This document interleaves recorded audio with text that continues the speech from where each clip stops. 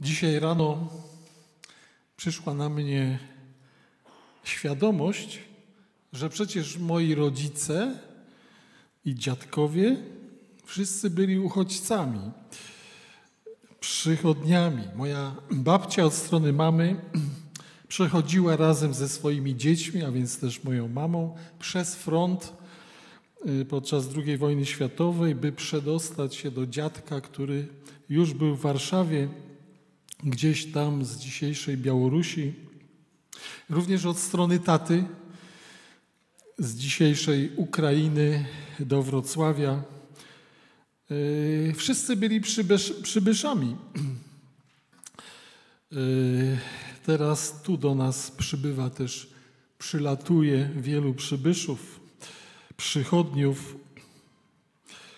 Y, gdy przedwczoraj rzuciliśmy takie ogólne zapytanie, wielu z Was wyraziło gotowość pomocy, niektórzy wyrazili też gotowość podjęcia szczególnego wyzwania, jakim jest koordynacja całości przedsięwzięcia, właśnie tego niesienia pomocy y, przybywającym z Ukrainy. No i koordynatorem przedsięwzięcia całości został wybrany ostatecznie Rafał Skórzok, a jego prawą ręką, pomocnikiem. Y, tak. Te brawa są słuszne, bo wyzwanie, wyzwanie jest ogromne.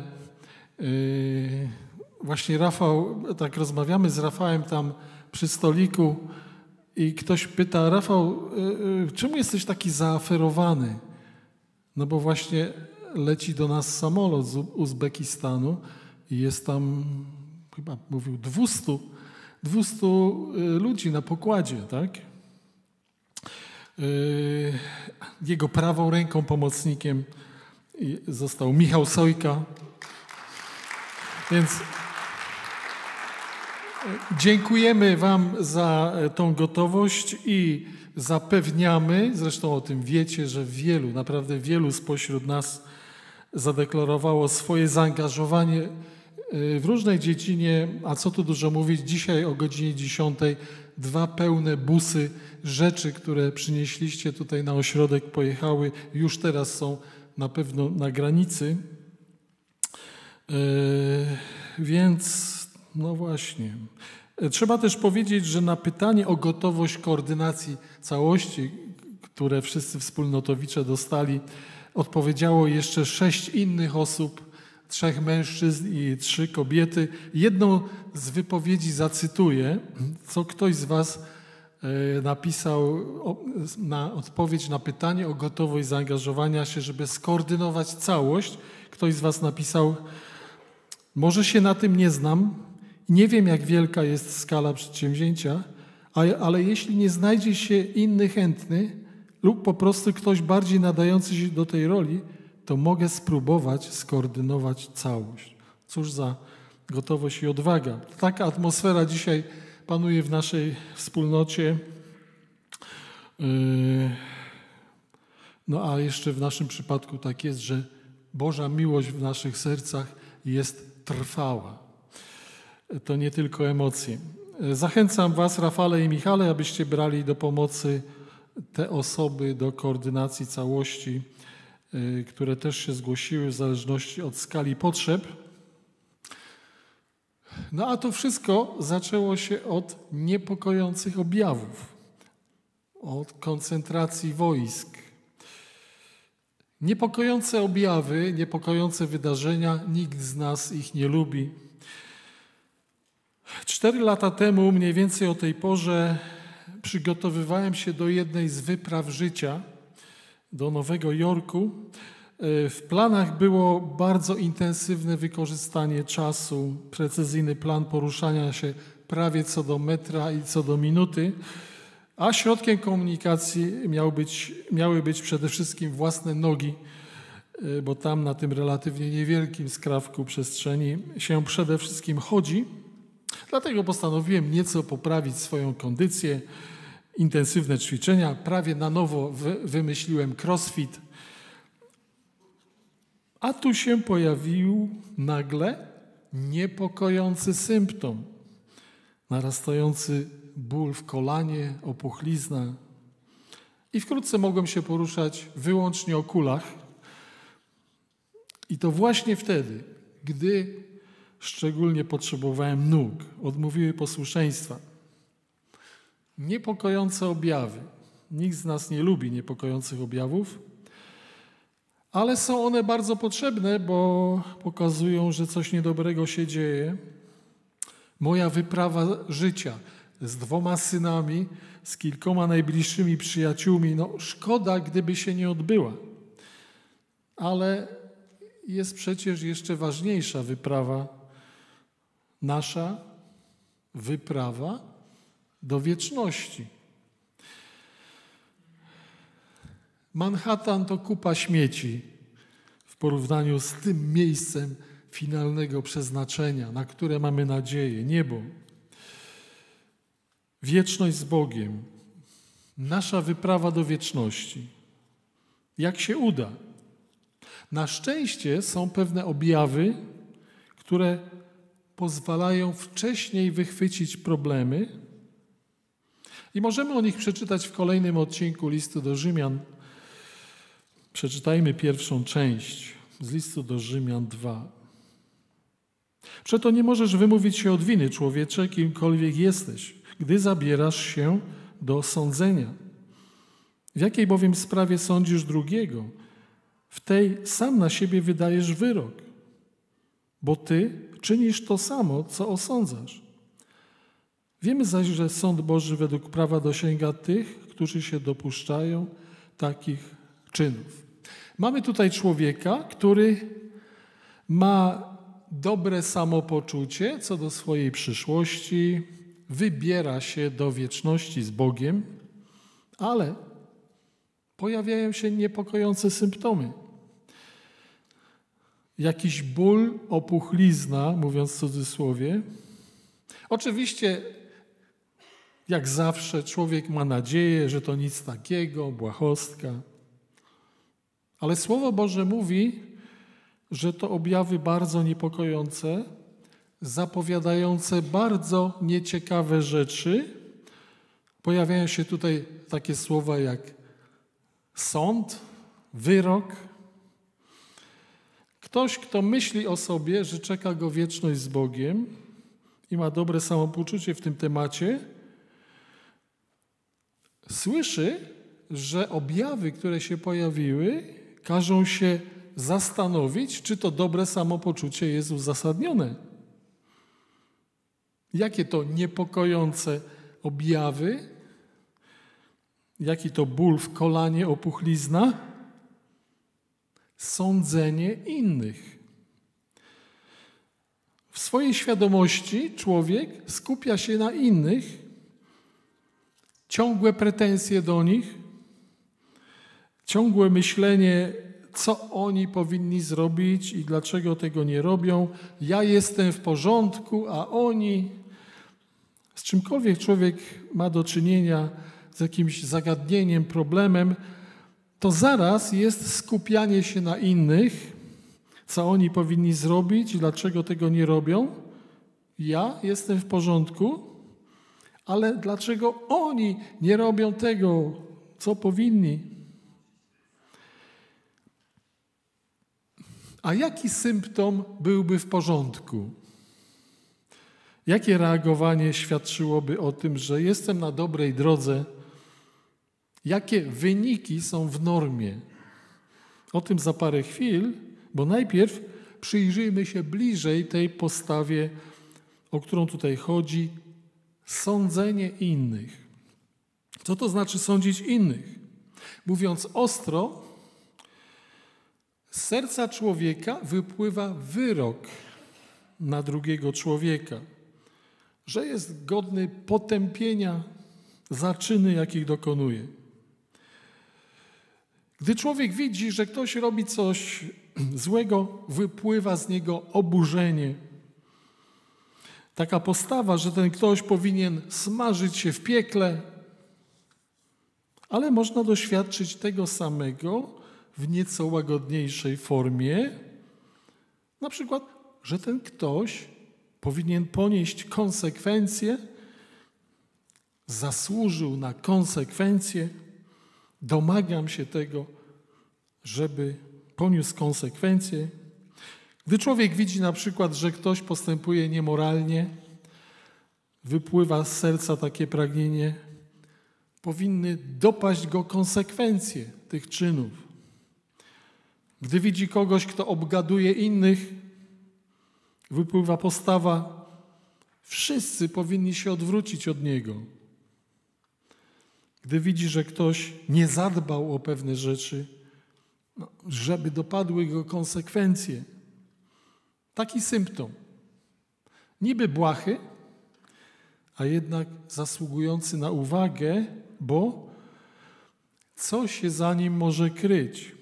Jaka choroba? Co człowiekowi dolega? Gdy miałem swoją przygodę z kolanem, e, nie było zmiłuj się, wyprawa życia tuż, tuż. Poszedłem na rezonans magnetyczny, położyłem się do szuflady urządzenia, wjechałem pod ten laserowy krzyż. Po wszystkim wyszedł technik e, z płytką CD, z prześwietleniem mojego kolana i wszystko było jasne. Ubytek chrząstki w kolanie wielkości centymetra. Wszystko jasne, diagnoza postawiona. Ale istnieje o wiele bardziej zaawansowane urządzenie niż rezonans magnetyczny Słowo Boże, które działa jak? List do Hebrajczyków 4. Zobaczmy. Żywe bowiem jest Słowo Boże, skuteczne i ostrzejsze niż wszelki miecz obosieczny, przenikające aż do rozdzielenia duszy i ducha, stawów i szpiku, zdolne osądzić pragnienia i myśli serca.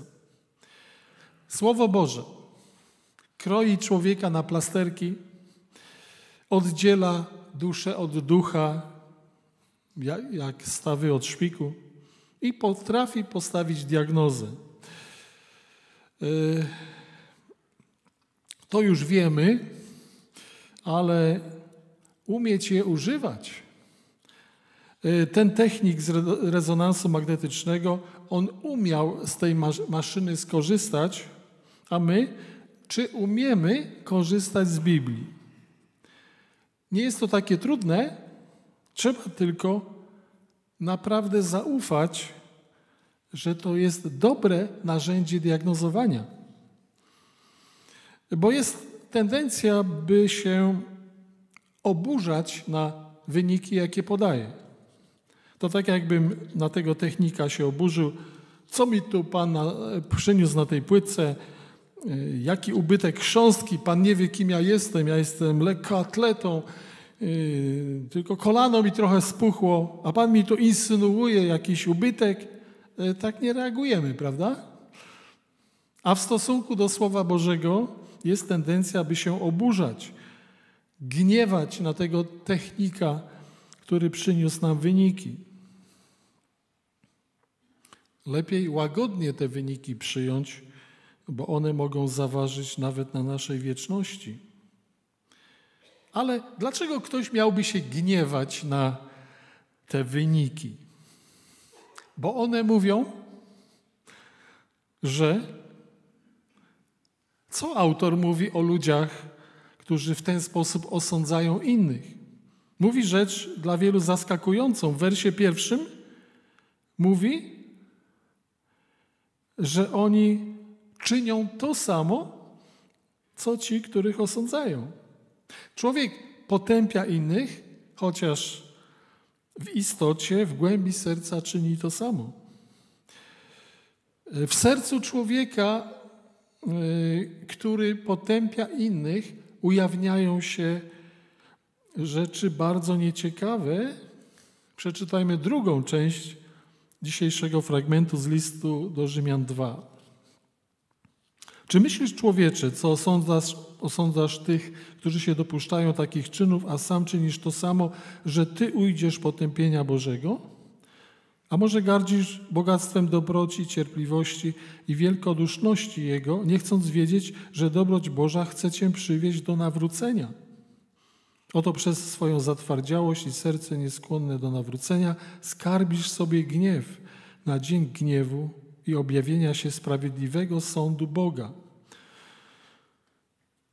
Przekrój ducha człowieka osądzającego innych. Jakie to postawy? Wers trzeci. Człowiek osądza innych, a sam czyni to samo. Wyjątkowa postawa lekceważenia.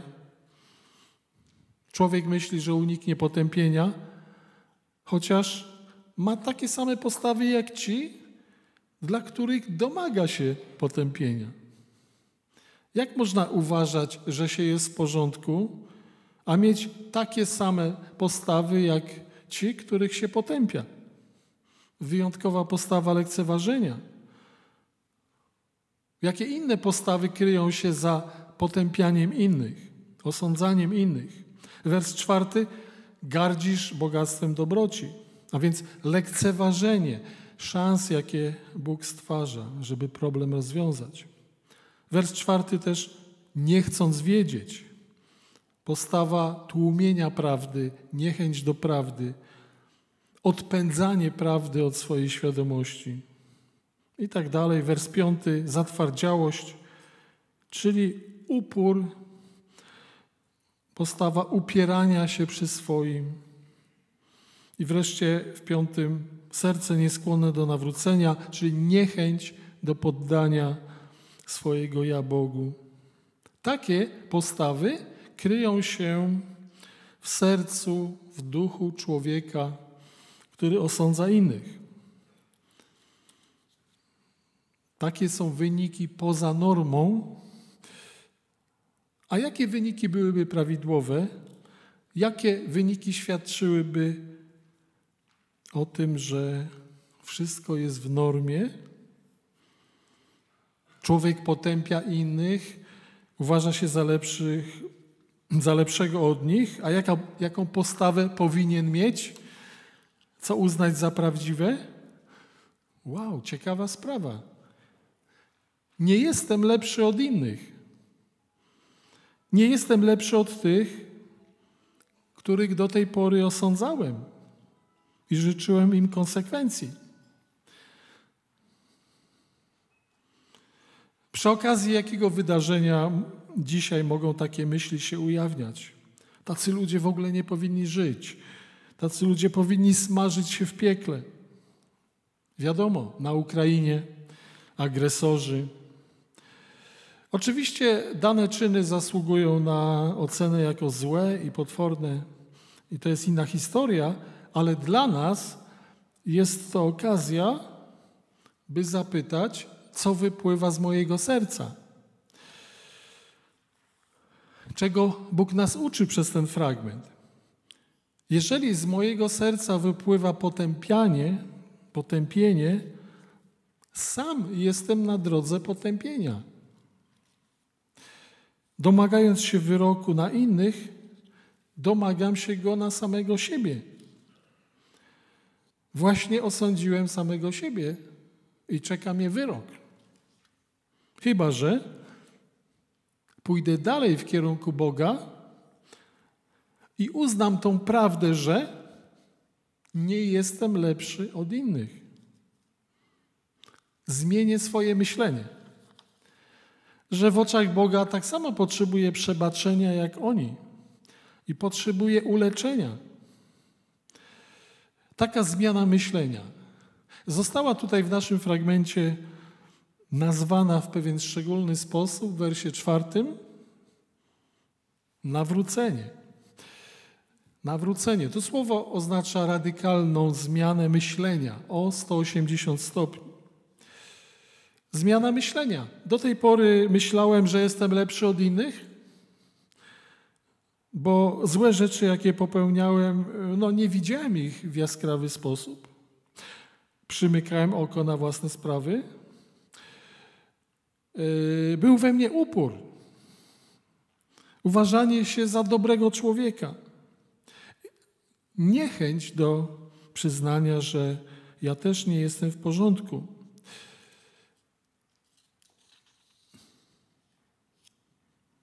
taka zmiana.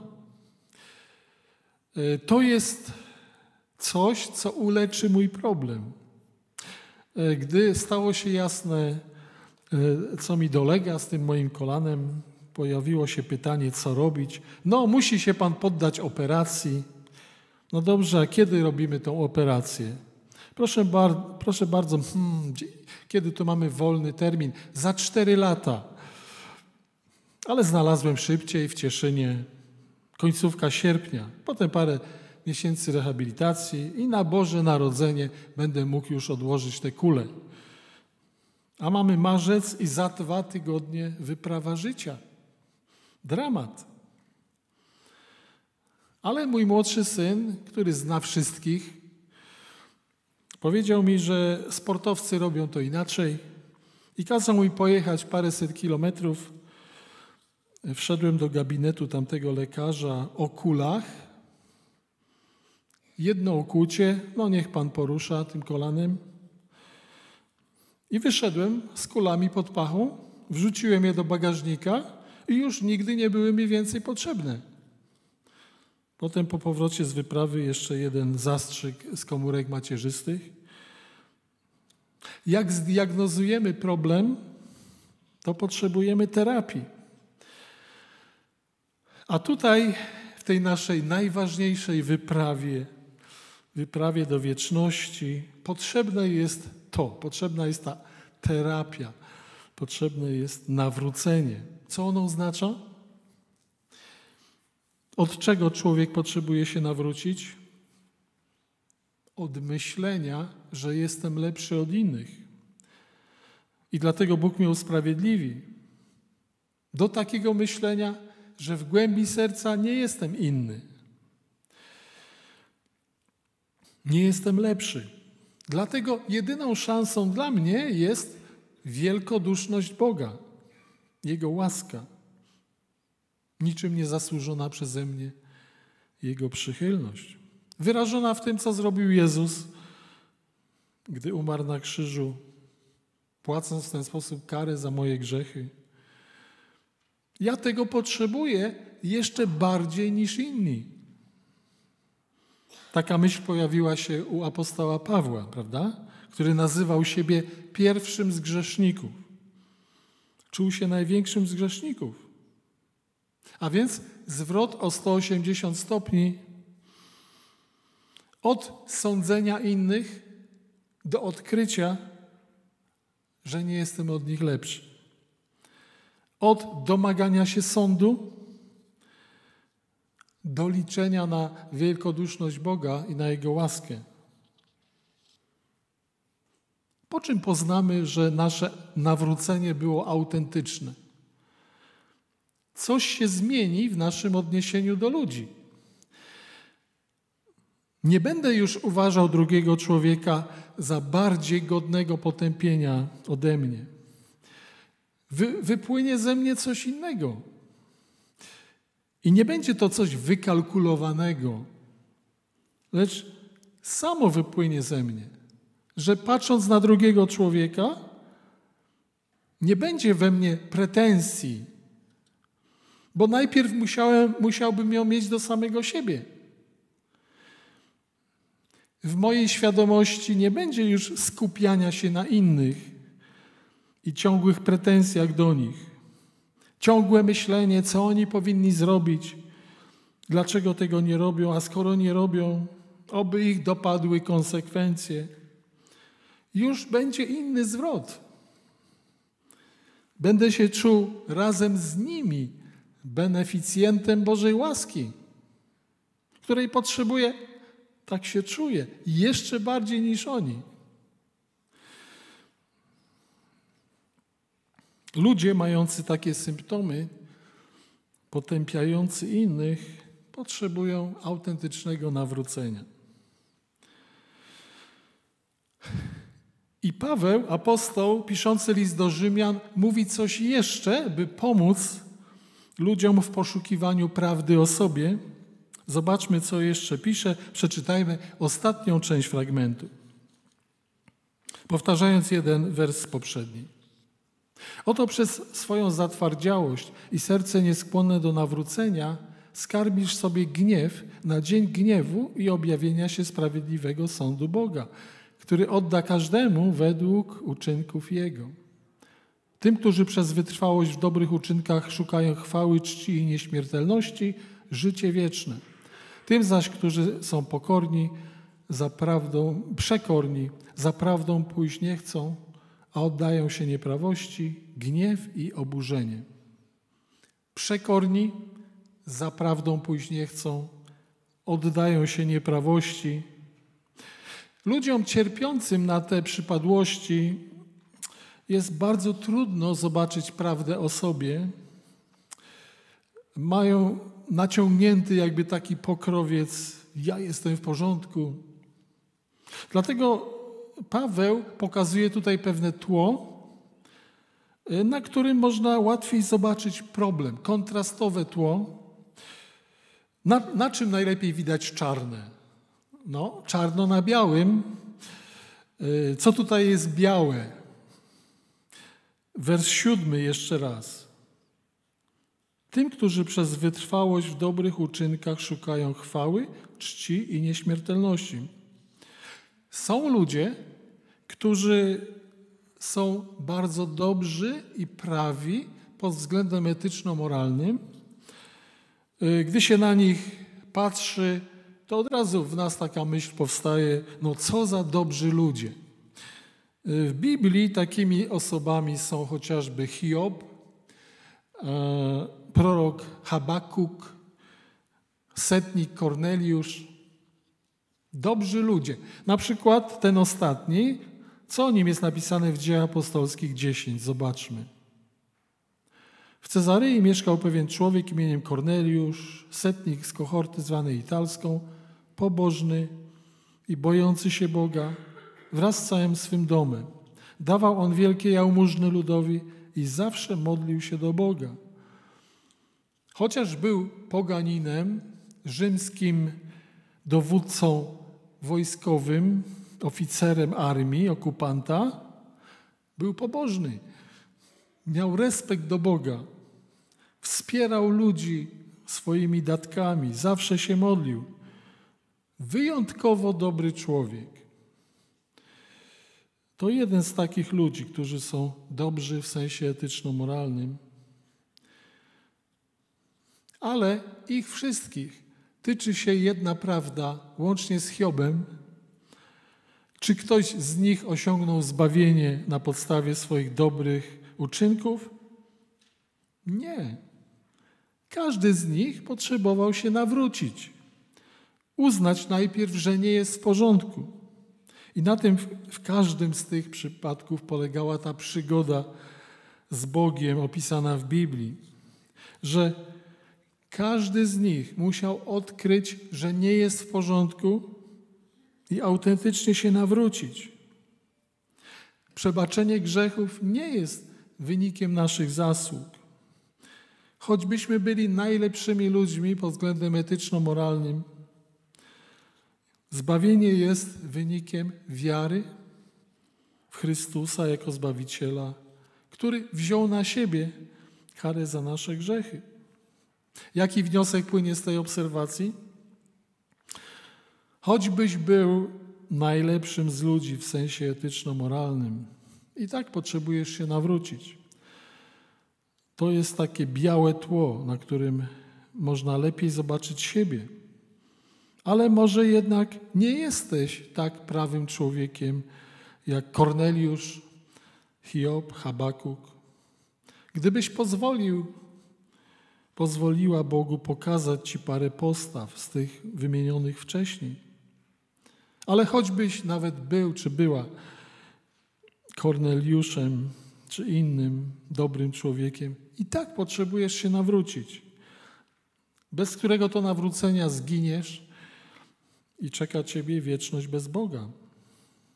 Więc lepiej wyznać Bogu swój stan, tą właśnie przekorę, tą niechęć do przyznania, że ja też potrzebuję przebaczenia, to lekceważenie Boga, opór. i warto autentycznie do końca się nawrócić, by pojawiły się te nowe symptomy. Symptomy przyjęcia przebaczenia, a główny z nich nie czuję się lepszy od innych.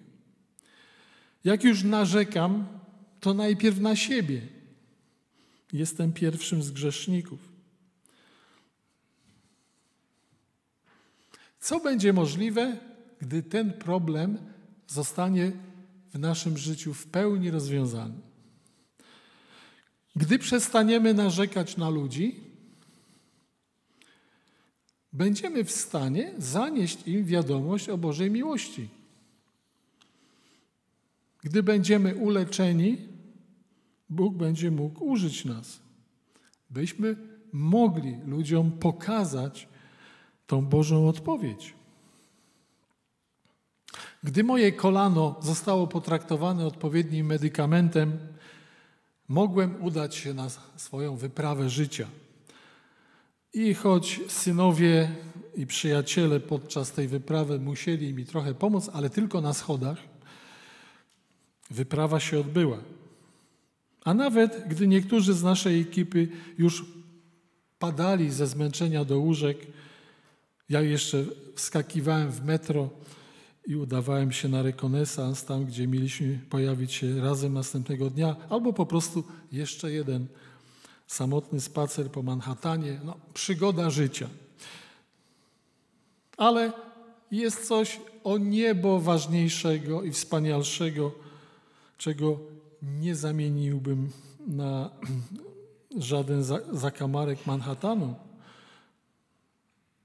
To jest to, że gdy naszego ducha ogarnie łaska Boża, to będziemy w stanie zanieść wiadomość o Bożej miłości do innych ludzi.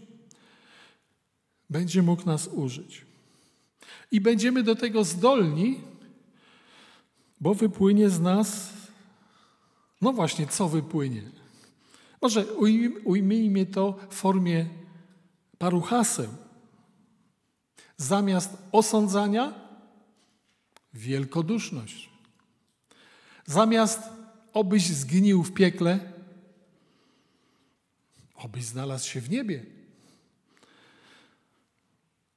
Zamiast oby cię dosięgły konsekwencje Twoich wyborów, oby cię dosięgła łaska Boża.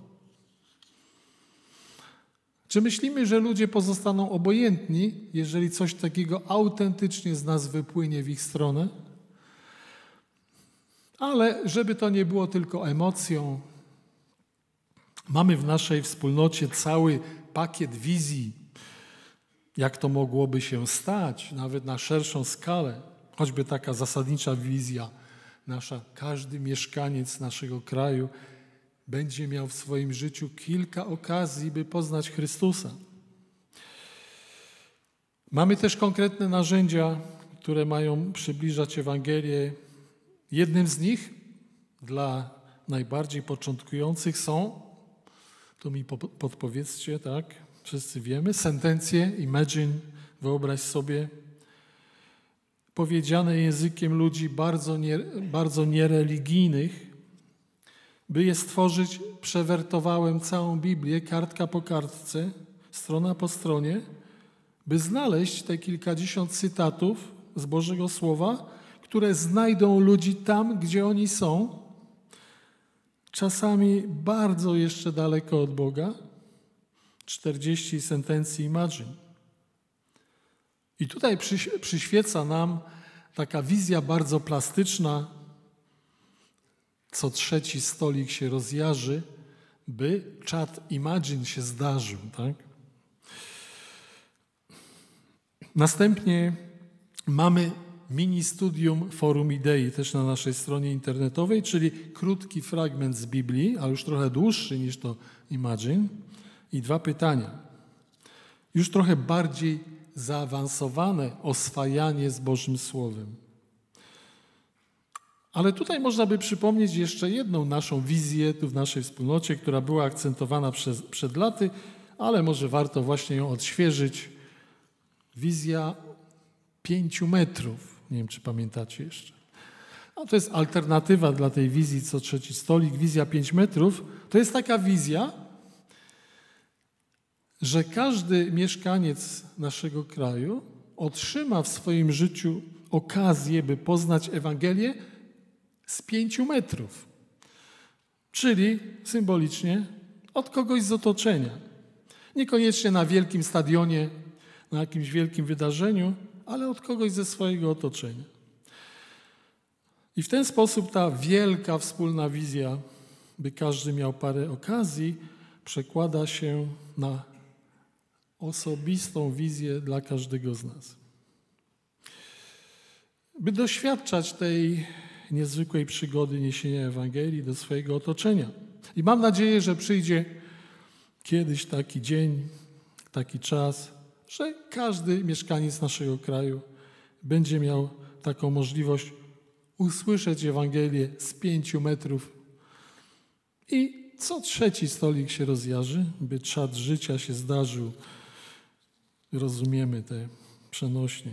Jak widać w naszej wspólnocie, czego jak czego, ale wizji nie brakuje.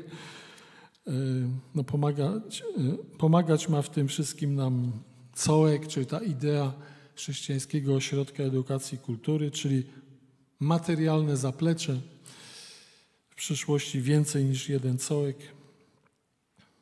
I tu też pewna wizja nam przyświeca, czy misja w zasadzie, pomóc chrześcijanom doświadczyć, jak wielkie rzeczy rodzą się z jedności. Inaczej mówiąc, stworzyć wszystkim ewangelicznym chrześcijanom jeszcze jedną dobrą okazję, by doświadczyć jedności jej rezultatu przy tworzeniu całek.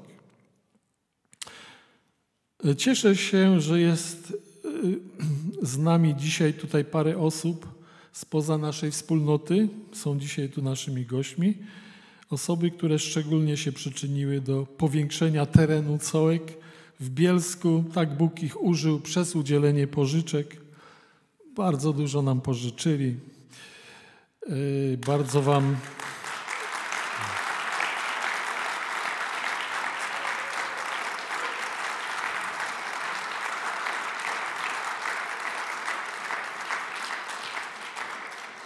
Gdyby było to dla ludzi, to bym już przerwał, ale to było dla Boga. Bo bez Boga to pewnie by im to nie, nie przyszło na myśl. E, ale chwała Bogu. No właśnie. Takie wizje. Więc pozwólcie teraz, że to, o to wszystko się pomodlę. Ojcze, to Ty tak nas stworzyłeś, żebyśmy mogli marzyć, mieć nadzieję.